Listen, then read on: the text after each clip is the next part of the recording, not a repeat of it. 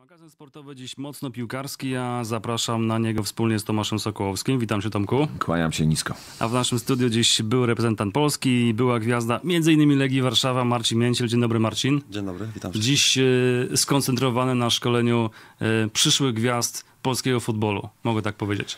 Można tak powiedzieć, oglądamy polską piłkę, oglądamy europejską. Europa nam ucieka, czyli coraz więcej roboty. Skupiamy się na, na wyszkoleniu. Rzeczywiście tutaj e, wielkie braki w polskiej piłce widać to w Ekstraklasie, nawet po Legii, gdzie e, liderzy, kreatorzy gry w środku pola, no niestety nie widzimy żadnego Polaka. W, o, oczywiście w liniach defensywnych mamy zawodników, tam nie mamy. Znaczy jak był to odszedł do Moskwy, tak? To, to, tak, zaraz go wykupili, ale mówię, patrząc później na, na ligi europejskie, puchary, no nie ma nas w pucharach, także szkolimy, zamartwiamy się tą polską piłką, chcielibyśmy, żeby było jeszcze lepiej. Jesteśmy już po pierwszych rozgrywkach, jeździmy na turnieje, już teraz rocznik 2.9 jedzie do, yy, w Polskę wyjeżdża na mocno obsadzony turniej, gdzie grają na, najlepsze kluby ekstraklasy i oczywiście nasz STF Champion. Za chwilę wyjeżdżamy do Zakopanego, gdzie też będą najlepsze kluby ekstraklasy typu Legia, Zagłębie, jak się mierzy to z najlepszymi. Dlatego to szkolenie wtedy idzie do góry. Za chwilę pojedziemy oczywiście też do Niemiec, jak zawsze grać z najlepszymi już wtedy w Europie, Manchester City, Bayern Monachium. Tak to wygląda na dzisiaj. Otworzyliśmy nową e, filię na Mokotowie, także bardzo zapraszamy na Marynarskiej.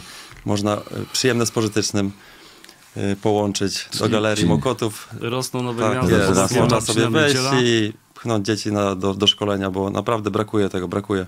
Tak, Brakuje pa- też boisk. Marcinie, jak patrzysz, jak rozrastacie się wy, rozrastają się inne kluby czy inne szkółki, to mi się wydaje, że też i boisk brakuje. Boisk brakuje, niestety, dam przykład Ursynów, 200 tysięcy ludzi, nie ma jednego pełnowymiarowego boiska. Jedziemy na turniej do Niemiec, gramy po prostu 100, co 20-140 drużyn w trzech małych miejscowościach, po 4, po 5 boisk w każdej małej miejscowości pełnowymiarowych. Tutaj nie ma. E, Mamy bardzo dużo klubów, dużo szkółek, niestety, dlatego wszyscy szkolą do 12 roku życia i kończą, bo nie mają gdzie grać później na jedenastki. To jest największy problem chyba polskiej Tak, temat, piłki. temat, temat na, na osobną audycję. Dziś panowie pomówimy oczywiście o ósmej kolejce Ekstraklasy, która w ten weekend, y, ale chciałbym, żebyśmy jakoś zgrabnie podsumowali ostatnie mecze reprezentacji. Tydzień temu, no tak, Tomek pamiętasz, rozmawialiśmy w zupełnie innych, y, innych nastrojach. No trudno się dziwić, tak, bo cztery mecze, komplet, y, komplet punktów, pewne prowadzenie w tabeli, no i tak jakoś, jakoś trudno było dopuścić do siebie myśl, że że w tych meczach ze Słowenią, Austrią może nam się coś tak przesadnie dużego stać, jakaś, jakaś specjalna krzywda. Tymczasem zimny jak lód prysznic. E, I tak, no od kilku dni reprezentacja jest e, grillowana i przez media, i przez kibiców. Trudno się dziwić. No tak, jestem ciekaw, jakie, jakie wasze wrażenia. Trochę już ochłonęliśmy, ale, ale no faktycznie, czy, mm, czy wciąż jednak trudno wam się pogodzić z tym, co widzieliśmy w tych meczach? Trener Brzęczek w wywiadach przestrzegał przed Słowenią, yy, wiedząc na pewno i cały sztab i on oglądali ich, spotkania, yy, które nieznacznie przegrywali bądź yy, wygrywali, że ta drużyna yy, większy ma potencjał niż ma punktów, yy, ale to powinno, reprezentacja powinna się skupić na sobie i w tych yy, meczu ze Słowenią no, pokazaliśmy się ze, ze złej strony. Ze złej strony, gdzie nawet w tych wcześniejszych spotkaniach trzech, y, też wyrazu zaczynając od Austrii, Macedonią i Łotwą, to też nie wyglądało pod względem jakości. Męczyliśmy się z grą, aczkolwiek no, mieliśmy 9 punktów, plus ten mecz mi się wydaje z Izraelem, to troszeczkę tak y, zamazał to, że niby ta gra idzie w dobrą stronę. Klubowe rozgrywki tych najlepszych zawodników ruszyły i wydawało się, że wszystko jest okej. Wszystko jest okej, że ta kadra idzie w dobrą stronę, bo ci zawodnicy kluczowi byli, w- grali pełne minuty w swoich meczach i byli w bardzo dobrej formie i czego tu by można się było spodziewać, a tu no przyszło to i też Robert w wywiadzie mówił, że no ta reprezentacja, ci zawodnicy muszą, muszą być skoncentrowani, że nie może być troszeczkę luzu, że mamy tyle punktów i jesteśmy mocni, bo nie, no trzeba wejść na boisko i to pokazać, jak jesteś mocny. Potem zobaczyliśmy skład, w jakim wyjdziemy na ten pierwszy mecz ze Słowenią. Właściwie w 100% taki, jakiego, jakiego się spodziewaliśmy. Tydzień temu tutaj właściwie wymieniliśmy całą jedenastkę, jaka wyjdzie na Słowenię i, i no co, mimo wszystko zdziwieni jesteśmy, jak ci panowie się na boisku spisali. Marcin, pytanie do ciebie, jakie wrażenia? Czy już tak na chłodno na to patrzysz, czy no jednak te emocje e, wciąż buzują, bo, bo no trudno było patrzeć na to, co widzieliśmy w tych obu meczach właściwie. Znaczy powiem tak, przygotowania do tych eliminacji pokazały, że to już nie jest ta kadra, tak? I, i tam też były gromy, tak, słane od prasy, od kibiców, że, że kadra źle gra, że trener do wyrzucenia. Okej, na początku zaczęliśmy rzeczywiście punktować, ale gra nie wyglądała najlepiej może, tak? Gdzieś tam e, wierzyliśmy, że to się wszystko zazębi, ale te mecze pokazały z tymi mocnymi zespołami jak Austria i teraz Słowenia rzeczywiście, że, no, że ta kadra będzie miała problemy, że po odejściu tych czołowych zawodników, no nie oszukujmy się, Błaszczykowski tak samo, jest starszy, teraz ma kontuzję, yy, nie, będzie, nie, ben, nie będą już wygrywać z każdym po prostu średniakiem na luzie, tak jak było wcześniej, tak? I no, musimy się skoncentrować rzeczywiście na, każdym meczu. Przede, przede, wszystkim szkoda tego meczu u siebie z Austrią, no bo u siebie rzeczywiście y, punktowaliśmy zawsze, tak? I okej, okay, Austria nas trochę zaskoczyła, bo grała bardzo szybki futbol. Ciężko nam było cokolwiek zrobić. Graliśmy z kontry, mieliśmy tam swoje sytuacje, ale piłkarsko to nas przewyższała. Ale to myślę, że tutaj zabrakło tych punktów, bo oczywiście na wyjeździe można przegrać, ale jeżeli byśmy wygrali tutaj z Austrią, całkiem inaczej byśmy chyba patrzyli tutaj. Yy, tak, bo ta sytuacja punktowo. Roberta, no to takie sytuacje, no można powiedzieć, Marcin sam wiesz, Zawsze wykorzystuje. No, wykorzystuje, czy każdy na passing, no bo lepszej sytuacji możesz nie mieć, tylko trafić w bramkę, bo bramkarz no, z odległości dwóch metrów, yy, no ciężko mu zareagować na jakieś uderzenie. Musiałby mieć nie wiadomo ile farta, szczęścia, żeby piłka go trafiła i nie wiadomo obojętnie gdzie by trafił to z takiej pozycji, po takim dośrodkowaniu, nie, nie pierwszym od Grosickiego, Robert zawsze wykorzystywał. Widocznie, widocznie no, czy presja, czy aczkolwiek na Robercie jaka presja, tak, bo nie, niejednokrotnie, tylko mówię, no stawka meczu, e, no gdzieś tam zaważyło, że nie tak się zachował jak powinien, ale też jak oglądając ten mecz właśnie z Austrią, to Marcin wspomina, to ja myślałem, że my gramy z Niemcami, bo tak żeśmy zostali zdominowani, stłamszeni na 20 metrach, jak, jak nieraz y, później na, na, możesz na chłodno obejrzeć, jaki my robiliśmy pressing, no to to nachodzonego, tak, a tam na, nawet z Austrią, czy ze Słowenią, czy z każdym innym nachodzonego, to ty nic nie zrobisz, tak, bo nie mamy takiego potencjału, wiemy, że gramy z kontry jako reprezentacja i to w tym się najlepiej czujemy. W grze, mecz ze Słowenią pokazał, w grze, gdzie my musimy zdominować, gdzie my musimy wykreować jakieś sytuacje, no to ciężko nam to przychodzi, tak? I albo stały fragment otworzymy sobie mecz i nam później z kontry jest łatwiej, ale tak my musimy być skoncentrowani, bo Słoweńcy, no stały fragment, troszeczkę szczęścia, bo ta piłka i gościu wchodzi, można powiedzieć w ciemno, po strąconej piłce, no to to jest może się zdarzyć, ale no my żeśmy przysnęli i żeśmy podarowali. I, tak, i ten, Słowenia wróciła do gry. Ten niski pressing, o którym, o którym mówiłeś, widzieliśmy to w Mistrzostwach Świata w meczu, w meczu z Japonią i faktycznie był taki fragment, y, potem powielany y, w internecie, gdzie przez trzy minuty praktycznie Austriacy y, rozgrywali swoją akcję. Żaden z Polaków jakoś przesadnie nie był zainteresowany tym, żeby tę akcję, tę akcję przerwać. Panowie, jeszcze zapytam o selekcjonera, bo, bo on był jednym z tych osób, które najbardziej oberwały po tych, po tych dwóch meczach. Wylała się na niego e, lawina krytyki. Mm, waszym zdaniem, czy faktycznie widzicie jakieś takie rzucające się w oczy błędy, które on w tych meczach popełnił? Znaczy ciężko powiedzieć tak naprawdę. Mówię, ja tego selekcjonera bym zawsze oceniał na końcu, tak? Już na wałkę trenera tak samo pamiętam na początku wywiady, dzwoniła do mnie prasa, telewizja, czy nie wyrzucić trenera już na początku eliminacji, czy przed eliminacjami dajmy popracować e, trenerowi. Myślę, że sytuacja w grupie nie jest najgorsza. Gramy teraz dwa mecze, które musimy wygrać.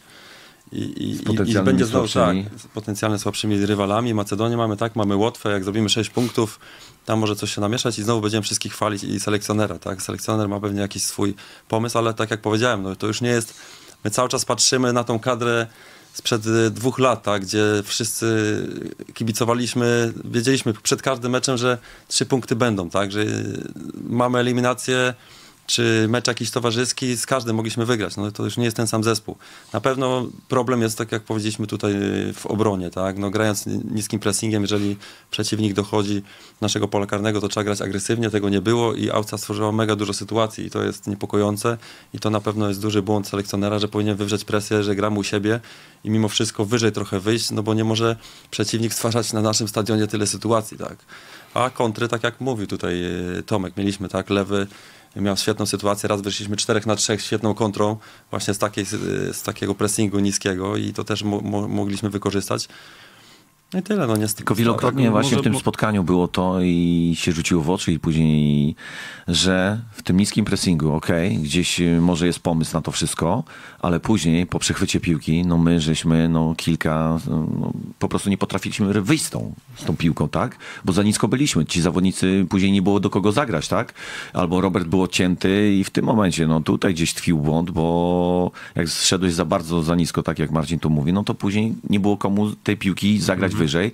W dryblingu też no, ciężko zaryzykować, bo byłeś blisko pola karnego. Każda strata mogła być no już pachnieć bramką, stratą bramki i to było duże ryzyko, no ale jak jesteś cofnięty prawie na 20 metrze, no to to jest właśnie to, że musisz wyjść, musisz wyjść po, po odbiorze piłki właśnie z tego pressingu, gdzie my wcześniej to pokazywaliśmy, ale no w tym meczu z Austrią no, byliśmy tak zdominowani, że no tego, tego nie było, tak? I dużo niecelnych podań. I to właśnie skutkowało tym, że mieliśmy jedną sytuację, aczkolwiek no, tą jedną trzeba wykorzystać, żeby później ten wynik otworzyć, żeby łatwiej się grało i wykorzystać swoje atuty w kontrataku. Tak, mówiliście o tej sytuacji lewego. No, no faktycznie, możemy mieć trochę, e, być lekko zdziwieni, że, że taki snajper takiej okazji nie wykorzystał. Z drugiej strony, Robert ma też rację, kiedy, kiedy mówi, no panowie, to była jedna okazja, jaką miałem w tym meczu. W dwumeczu nawet. W dwumeczu, tak. E, I tutaj patrzę na swoich kolegów.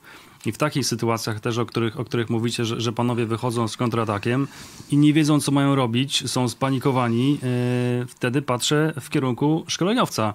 Dlaczego e, panowie tego nie wiedzą? Dlaczego gubią się w obronie? E, Dlaczego trener nie reaguje, nie dokonuje zmian, kiedy widzi, że, że coś idzie nie w porządku? Z drugiej strony, no tak, trener też nie na wszystko ma wpływ. Desygnował na mecz ze Słowonią skład taki, jakiego się spodziewaliśmy. Wydawało nam się, że jest to skład optymalny. E, No ale kiedy patrzymy na, na, na indywidualne popisy niektórych zawodników, no to trener chyba nie za bardzo już ma wpływ. Spodziewaliśmy się, że w środku obrony wyjdzie Pazdan e, obok, obok Bednarka. E, Wydawało nam Kontuzja się, że, Glika że, to że, wymusiła, tak? Tak, wy, wymusiła to kontuzja Glika. Wydawało nam się dobry czas w klubie. Mieliśmy nadzieję, że on już wraca do tej swojej e, dobrej formy. Tymczasem on był tak elektryczny w tym meczu ze Słowenią, jakby w kadrze debiutował.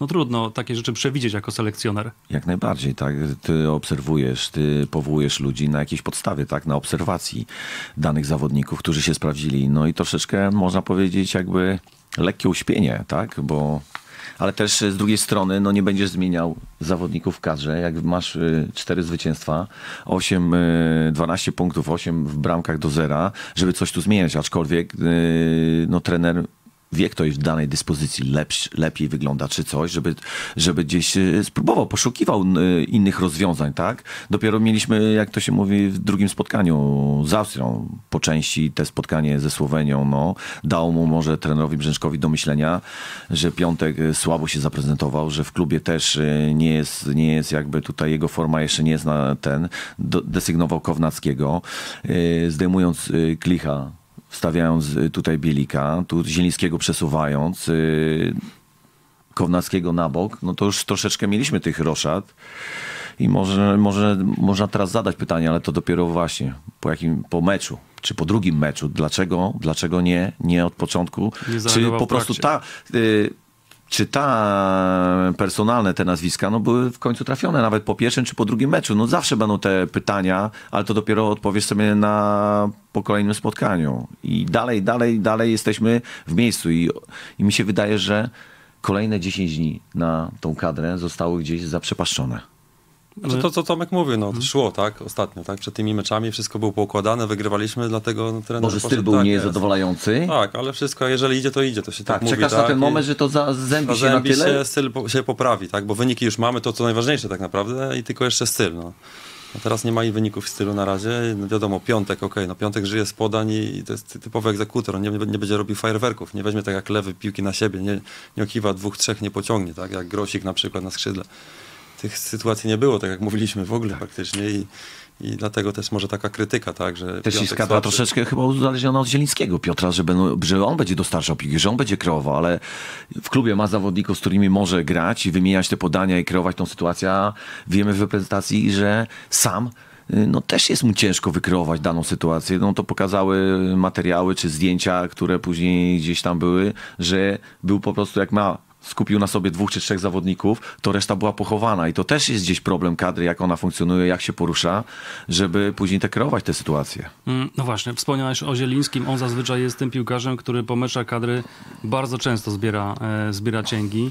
Nie brakuje mu e, krytyków. E, mówi się, że chcielibyśmy go widzieć jako lidera. Powinien dawać tej kadrze więcej. E, powinien być takim piłkarzem, jaki, jakim jest w, w klubie. No tak, obrywa mu się strasznie. E, z drugiej strony tak, czy, czy to faktycznie Zieliński e, wciąż nie może, się, nie może coś mu się w głowie przestawić, jak mówi selekcjoner? E, czy to może selekcjoner, jeden, drugi nie ma na niego pomysłu? Znaczy myślę, że tak jak powiedzieliśmy, no Zieliński ma y, zawodników y, na poli takich, jakich ma i mu się trochę łatwiej gra, tak? Y, Więcej ludzi kreuje tą grę, tak? Tutaj my jesteśmy skupieni na nim, że on to ma tylko sam kreować. No tak się nie da, tak? To jest piłka europejska na wysokim poziomie i, i, tam musi być dużo więcej ludzi takich do grania i, i dlatego może to tak to wygląda. Ja myślę, że ten chłopak potrzebuje jeszcze trochę czasu, jeżeli ten zespół rzeczywiście zacznie dobrze grać i jemu będzie łatwiej, tak? No bo już nieraz widzieliśmy, jeżeli szło o naszej drużynie, to Zieliński też potrafił zrobić fajne akcje, dograć y, bardzo fajne piłki niekonwencjonalne, naprawdę na wysokim poziomie i od tego to wszystko zależy. No. I teraz trzeba, patrząc na jego umiejętności, na jego potencjał, no, trzeba wykorzystać jego. Jego umiejętności, to, że na, po, po, po- potrafi z piłką kreować grę, potrafi z, skupić na sobie nawet dwóch zawodników i zagrać no, po prostu tak jakby no, nikt mu nie przeszkadza. Tak, tak to łatwo nie jest. I teraz trzeba no, tak tą kadrę, tak personalnie dobrać, żeby jego potencjał wykorzystać. Czy to on będzie grał na skrzydle, czy on będzie grał jako ósemka, czy dziesiątka, no to też y, musi mieć wsparcie, to co Marcin powiedział. I tu teraz właśnie, no, trzeba tak y, dobrać ten zespół personalnie i na pozycjach, żeby to zaczęło funkcjonować. Czy to będzie grał mm, Grosik na jednej, czy poszukamy drugiego skrzydłowego w tym momencie, a jego zrobimy przykładowo ósemką czy dziesiątką, to dalej, dalej będziemy może stali w miejscu, bo dalej to nie będzie po prostu ta piłka nie będzie chodziła jak po sznurku, żeby dogrywać, tak, bo jest, jest problem, tak, po tych pięciu, pięciu spotkaniach mamy, kadra ma problem. Sześciu. E, Sześciu. Dużo, dużo mówił e, Jerzy Brzęczek o, o Zielińskim na konferencji prasowej.